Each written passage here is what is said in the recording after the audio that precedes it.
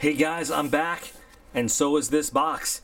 And this is make it or break it time because communication from Jason, the funder of this box, says that if he's disappointed with this one, he's probably going to cancel it, and and they are done. So, a lot is riding on what's in this box, and it's a pretty big box as Smoky Mountain Knifeworks box goes.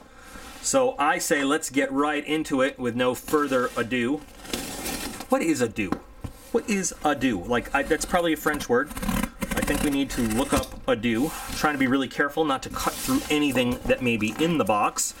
Um, but we have March for 2021, and that is our first box to arrive, starting our box cycle. So I'm excited. I'm really excited too to see how this one stacks up because this is going to be the make it or break it box for this subscription on this channel. Now we have loved this box. We have um, been disappointed in this box. So everything out of the box, we've got a Smoky Mountain sticker. Um, we've got. I I looked at this for a minute and I said, "What really?" And then I saw the Full Tang Clan. I was like, "Wow." All right, so now we know about their musical taste, but okay, it's the Full Tang Clan. Um, that's cute. So if you're not familiar with the way this subscription works, there are three levels to this box the GI, the Officers Club, and then the General's Box, or sometimes called the Five Star Box. And like many other subscriptions, each one builds off of what comes before it. Um, now, when this box, we first started looking at it, there was a lot, honestly, there was a lot more in it than what's coming now. Um, you know, and I understand the disappointment that Jason is feeling because he's the one that pays for this box. So this is not mine. Jason pays for the box. It comes to me. I review it. I send it to Jason. Um, and so, you know, for him to be upset, uh, he's the one shelling out the money. So for him to be disappointed, totally understandable. And and I'm disappointed lately opening them up and, and reviewing them with you guys because they're just kind of like, eh, what's going on? Um, so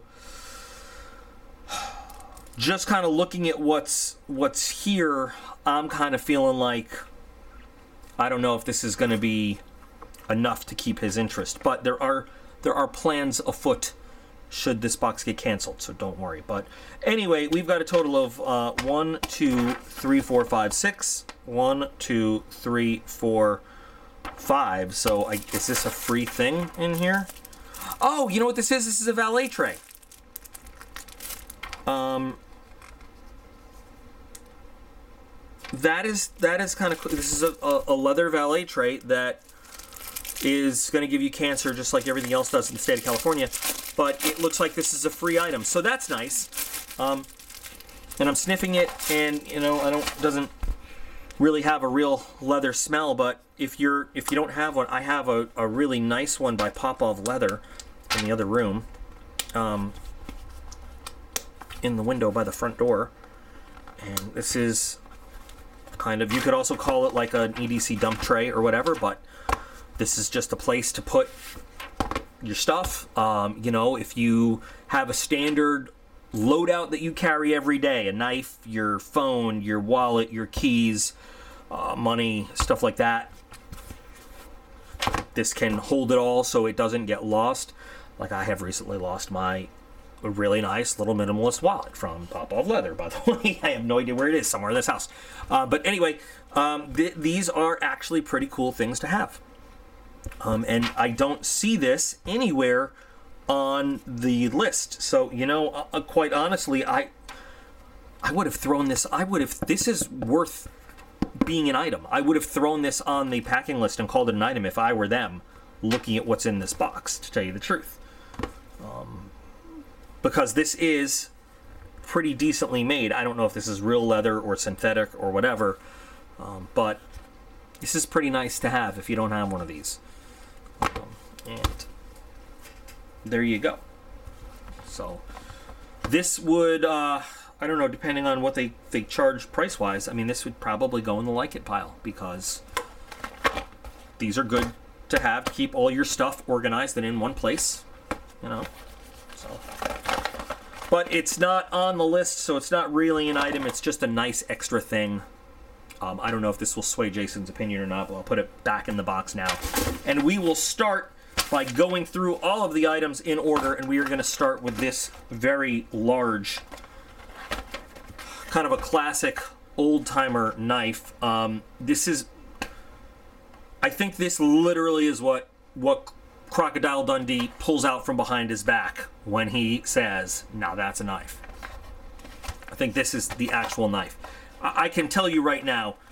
Uh, now Schrade, you know, their older stuff. It, they, Schrade is a classic name, and they make some classic, you know, stuff. But a lot of their stuff isn't made great.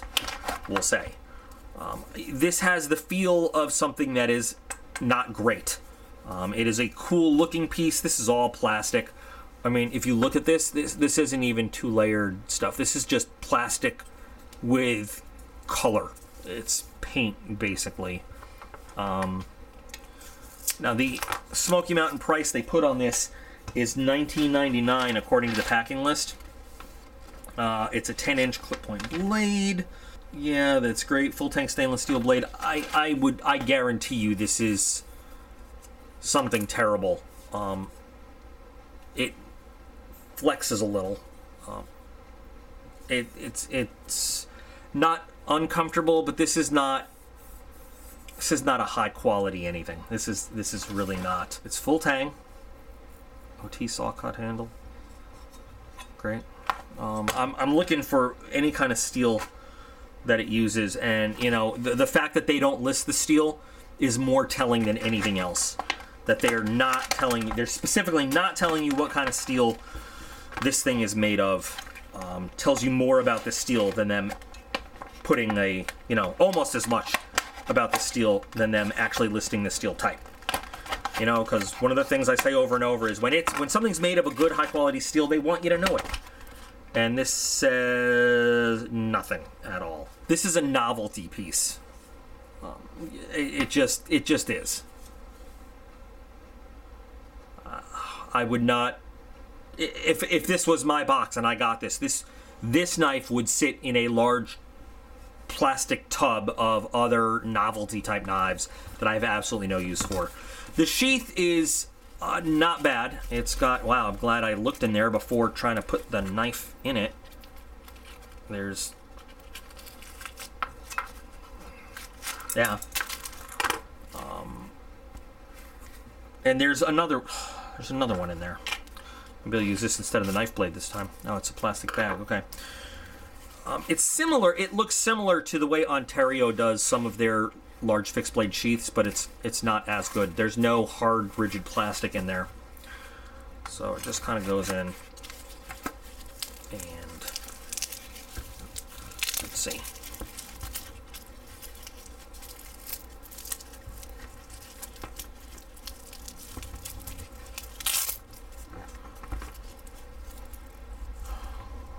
Well, that's something.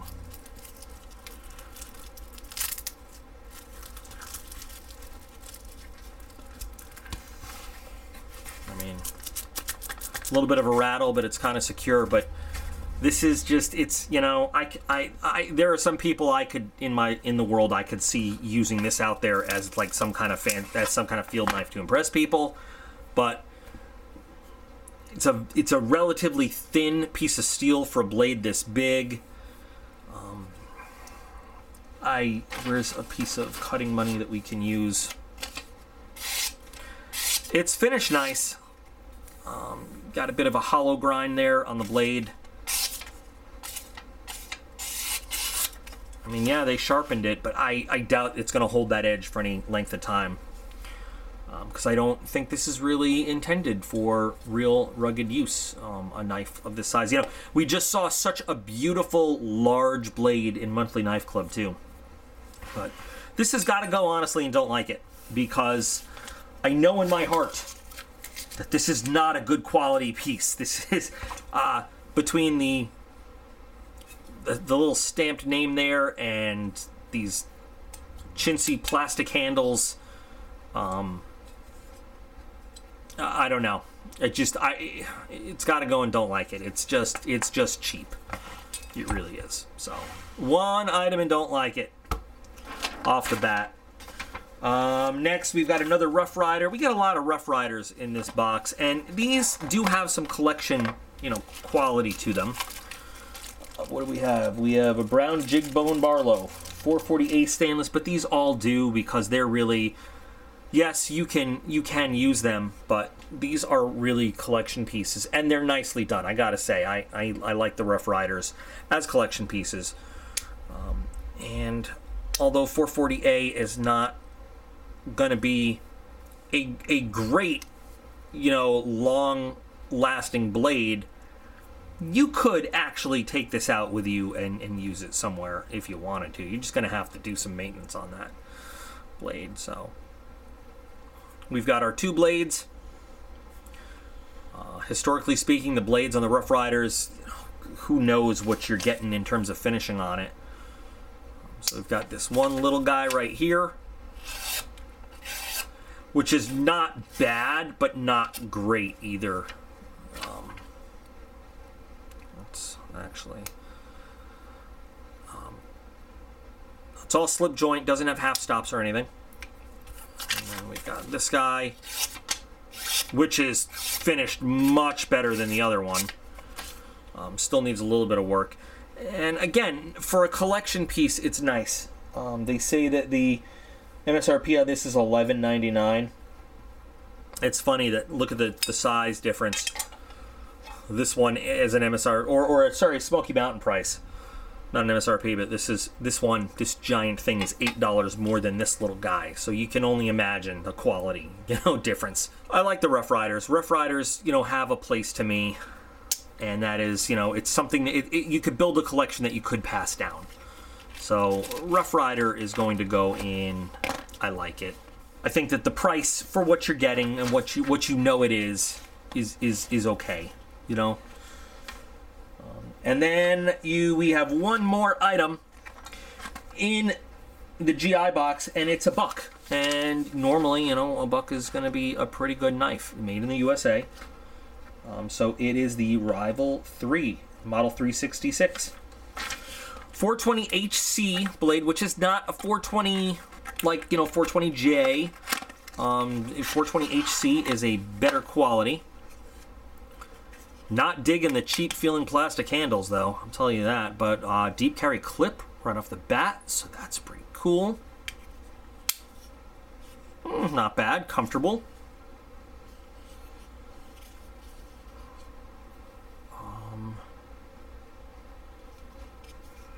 Made in the USA, so that counts for something.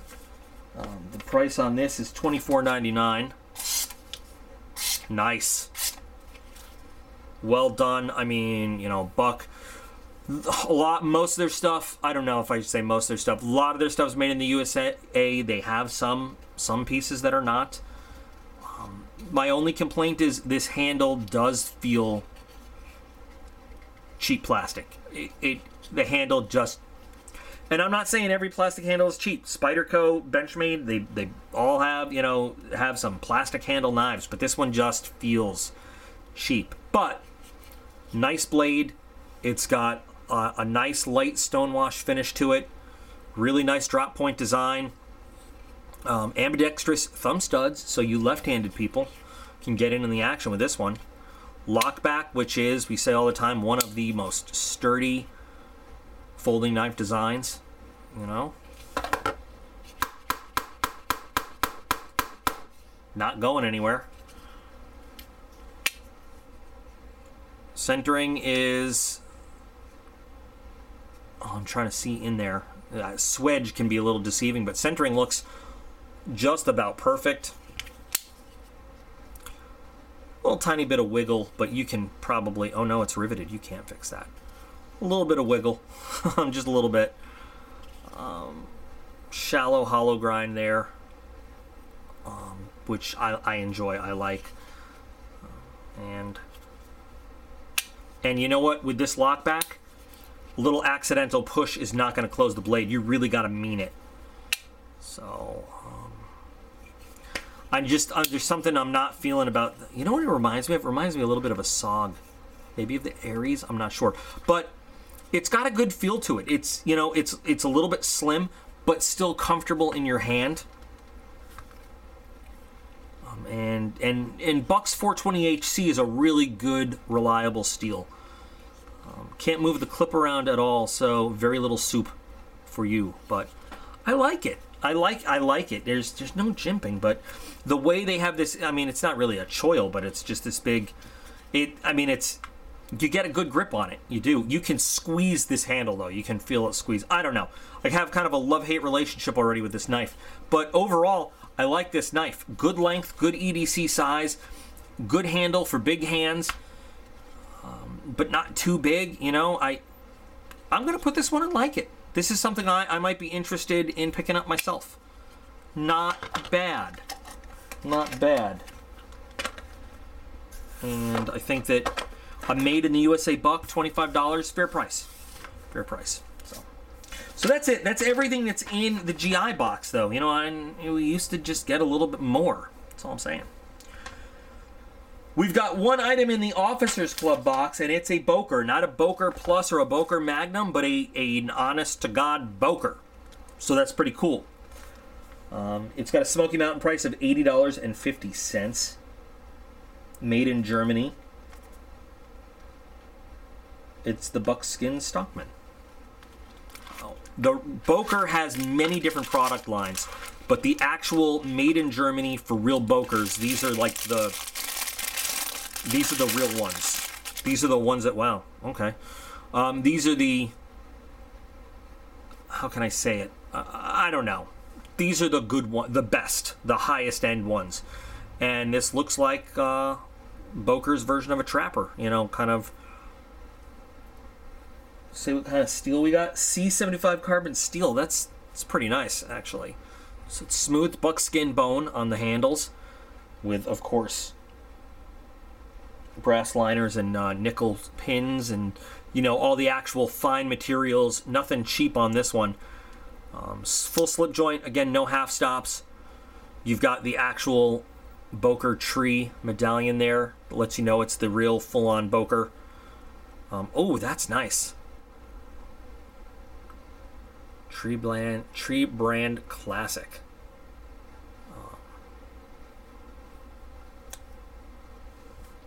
Now, this is definitely something that you can keep and pass down. Mmm. Oh, Boker, you're kidding me. Oddly enough, the Rough Rider has a blade that is finished a little bit finer than the Boker. What is up with that? Um, that is something I never would have expected. Get your little Boker materials. Um, I, I got to be honest though, like you know, for eighty dollars, I'm expecting this thing out of the package to be razor sharp. I'm expecting it to be as as finely finished as the twenty five dollar buck, if not more so. You know what I mean? It is still a very nice knife, but I got to put it in matte just for the the sake of you know I shouldn't for for an actual Boker from Germany for $80, I shouldn't have to touch this blade myself. It should be it should be out of the box. It should be ready to slice hairs. Um, this is not a brand that, that should require any any touching up at all. So I'm disappointed. Now it could now it could just be this one, could be this one, but we're gonna have to hear from some other folks that get the box what their experience with it was. Okay? So that's the one item in the Officers Club box. Now we've got one item in the General's box too, and it is a Spyderco Endela K390 Blue. Made in Japan. So not USA, but also at the same time not China or anything like that. K390 steel. Um,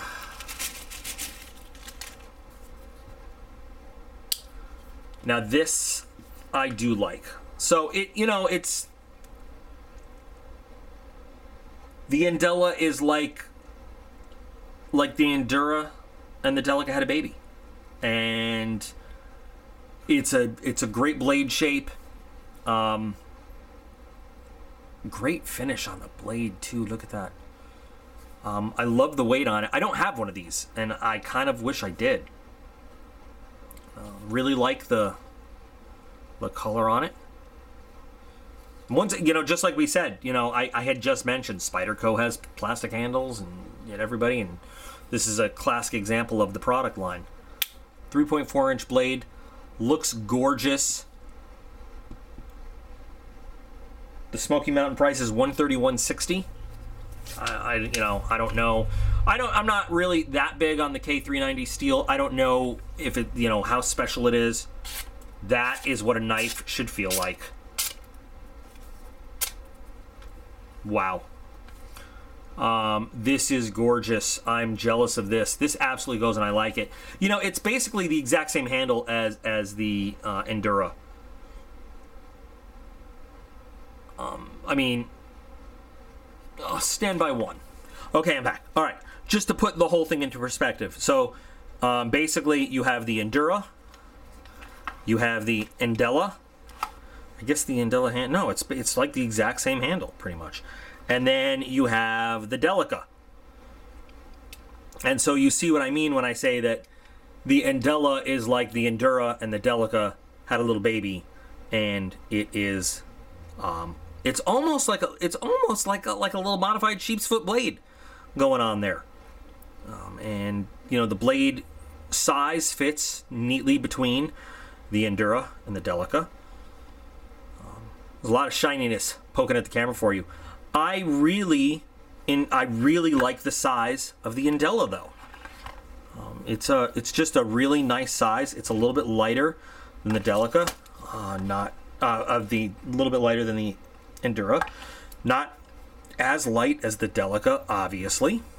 Both made in Seki City. It's a nice it's a nice knife. It's a really nice knife. I would absolutely carry one of these if I had it. I love the blade shape. I love it. I like it a lot better than the Endura, which reminds me of uh, Skeksis. And if you don't know what that is, you have some 80s brushing up to do. Yeah. Um, but I like it a lot. I like it a lot. So this absolutely goes in like it. This is a really nice. I, I have actually never never held one before. Um, this is a really nice addition to the Spyderco product line. You know, great EDC size too. Really nice EDC size blade when you compare it. Just they took off just enough from the Endura to make it I think, um, a lot more EDC friendly and, uh, you know, a, a, lot more EDC kind of like in terms of the size and shape of the blade. It just, the feel is really is night and day. And I really like the feel of this one over the Endura. So, pretty cool, well done. Definitely goes and like it. Now, inside the box, you've got a thing that talks about the K390 microclean. It's you know state of the art work tool, um, all about the composition of K390. And you know, I, again, I don't, I'm not, I don't know a lot about K390. I know it's it's one of the the newer you know high performance steels on the market. I don't know if it qualifies as a super steel uh, exactly, um, or but it's it, it's pricey. It definitely is pricey. So um, it's a premium steel, so it goes in like it. So at the end of the box, that's what we got. We do have one, two, three items and like it, one in meh, and one in don't like it. Um, and then don't forget the free valet tray. But we still only have one, two, three, four, five items, and then the free thing. And if you look back, you know, a few months ago, and I know, I know, pandemic, COVID, it made things hard on everybody. But at the same time, it's not like they lowered the price of the subscription and said, listen, COVID made things hard on everybody. You know, we're, we're going to. Obviously, if it made things hard on the store, it made things hard on the customer too. They're not giving the customer a break for the reduced stock, for the reduced items in the box. Um, you know, they're they're paying Jason's paying the exact same price he was paying when we had eight, nine, ten items in the box, you know? Um, so I get it. I get it that it's harder for them to source and do all this stuff in the days of COVID. But it's hard it's it's just as much harder for Jason to earn his money and live his daily life in the days of the virus. You know, and if anything, the customer's money is at a premium now. So I, I, I gotta say, I think that if that is the reasoning, and the reason I'm bringing this up is, I, you know, that's what everybody says. Oh well, you have to understand it is COVID and da da da da da. No, I get that, but then shouldn't the customer get a break if the if the if the business has to reduce what they're giving to the customer? Shouldn't the business reduce the cost to the customer as well? Um, I don't know. I don't know. So now it's really going to be on Jason to, to see this and decide does he want to continue footing the bill for this box? I like unboxing this because I get to see all sorts of cool stuff and put my hands on stuff and then decide, oh, I want to buy this, oh, I want to buy this. Um, I know you guys like seeing it, um, but at the same time, I cannot in any way argue with a guy who doesn't feel like he's getting his money's worth because that's that's half the ranting I do on this channel is you know the stuff that I'm spending my money on um you know getting pissed off that I don't feel like I'm getting my money's worth. So if he feels like this is just not a good use of his money anymore I got to back him 150% man. You I mean that's that's the decision he's got to make and I respect whatever he decides. Um absolutely so uh, I would love to hear input from all of you guys. What do you think? Has has this uh, granted, you know, and you can factor in COVID, this and that. You know, it's hard for the virus, but you know, we have no honestly, we have no idea when things are going to get better. We've heard over and over from so many people, this is when things will get better, and there's no guarantee. And even even if they are going to get better in this many months, that doesn't that doesn't help us right now. So or maybe it has nothing to do with that. Maybe, you know, as I've always said over and over when people say, why don't you put your own subscription box together? Because it's hard. I know it's hard. I'm not going to. I'm not going to do that. Um, so maybe it's just hard, and they've it's it's hard to keep coming up with stuff month after. I don't know, but what do you guys think about number one, this box? What's in this box? The uh, the items that we have. You know, I want to know your your thoughts on these specific items. But what do you think on the progress and the the the life cycle of this box as we've seen it on the channel since it started to where we're at now? Um, give Jason your advice. Keep the box or dump the box and go to something else. And I'm not telling you what else we've discussed because I don't want that to affect the opinion and the the comments that you would make. Uh, do we keep the box or do we go to something else? It's all about this box. Do you keep the box or do, you, do we go to something else? What do you think? What would you recommend that he do? And understand that he doesn't care what you say. He's he's gonna make his own decision. Um, this is not a this is not a a group think or this is not a vote.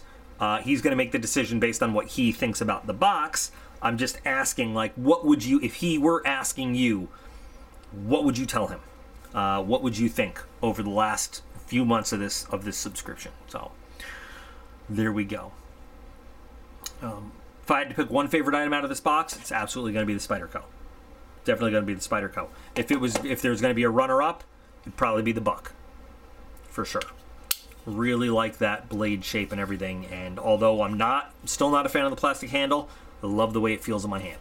I do. So. Okay, guys, I'm going to wrap it up. I'm going to look forward to your comments and I've got some other videos to film tonight, so I'm going to remind you that you guys are all absolutely awesome. I appreciate every single one of you, and I will be back again real soon.